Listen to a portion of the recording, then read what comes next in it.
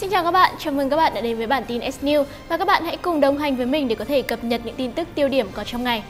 Mới đây, một tâm thư giao bán bản thân mình của một chàng trai 34 tuổi đăng lên để kiếm tiền chữa bệnh ung thư cho mẹ đã được rất nhiều người quan tâm. Trong tâm thư này, chàng trai đã chia sẻ rằng tội bất hiếu khi không có tiền chữa bệnh cho mẹ là tội không thể tha thứ được. Lê Giang Anh, 34 tuổi, nghề nghiệp là thiết kế quản lý dự án game.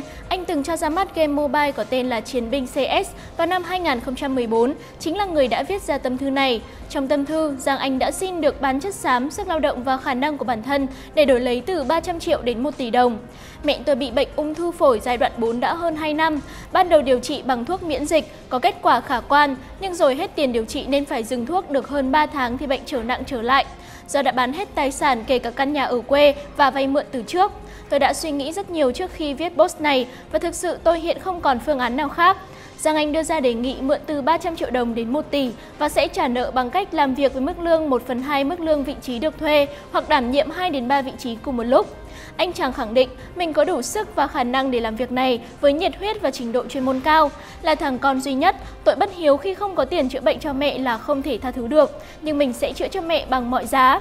Giang Anh tâm sự, trước đó thì anh cũng đã bán đi rất nhiều nền tảng website, làm nhiều công việc.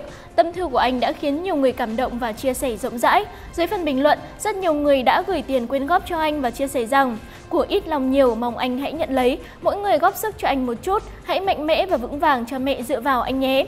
Cố lên chàng trai, rất khâm phục và ngưỡng mộ em, luôn tích cực nhé em.